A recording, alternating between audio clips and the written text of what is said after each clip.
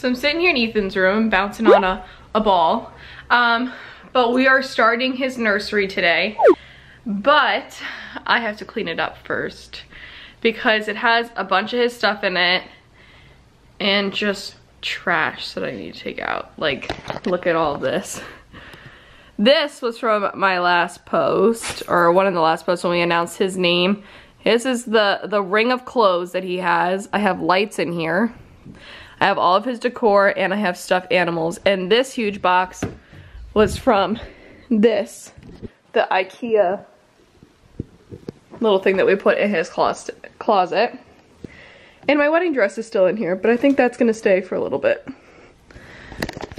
Anyways, so we are going to be, uh, well, you can actually see that up there. So this was our first attempt of planking that wall. So they said online that construction glue would hold a one by four on the wall. Well, it doesn't. So now we have to screw into the wall, but that's a cement wall. So we had to get the right drill for it, the right screws for it. So hopefully it might actually Work. start, start today. Hoping. As Michael comes with, you're gonna have to cut that, I'm bud. To cut everyone. That's fine. We'll just measure how much you need to cut off and then yeah. we'll be good to go. So while he cuts every single individual thing, I'm gonna try to clean this up so it's not so much of a disaster in here. And that's gonna be really loud. So I'm gonna cut it here. I'm gonna start cleaning up.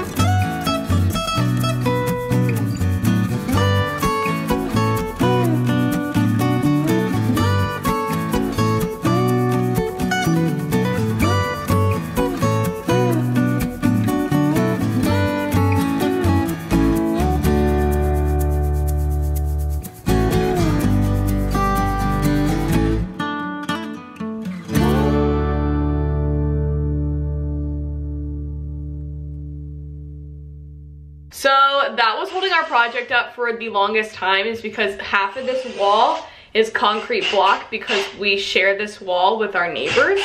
And that drill is really loud. I'm not gonna have you guys listen to that because it's just obnoxiously loud.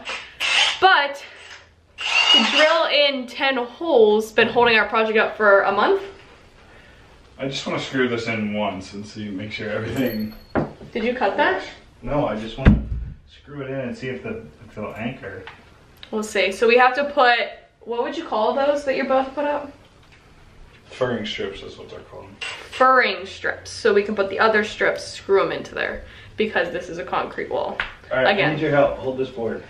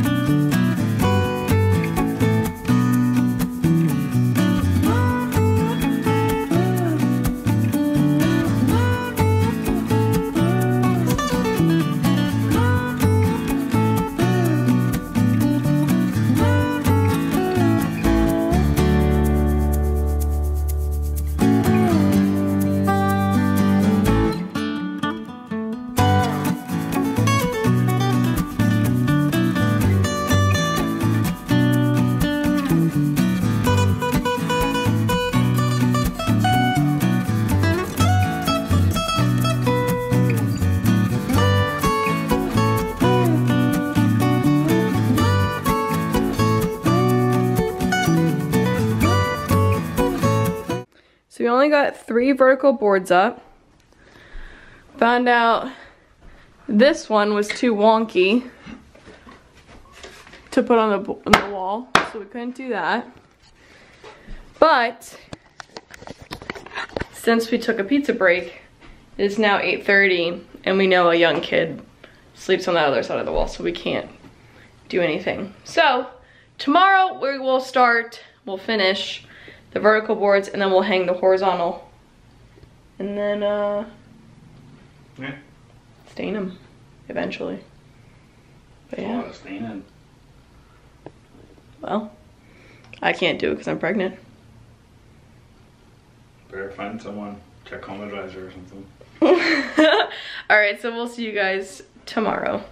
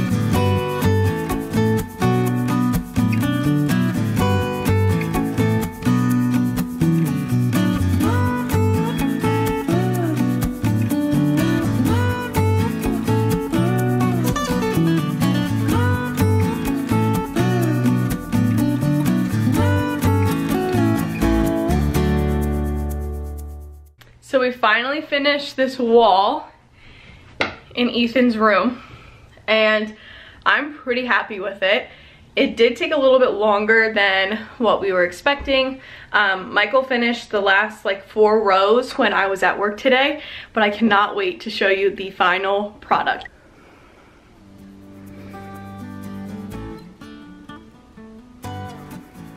I'm obsessed with it. It looks so good.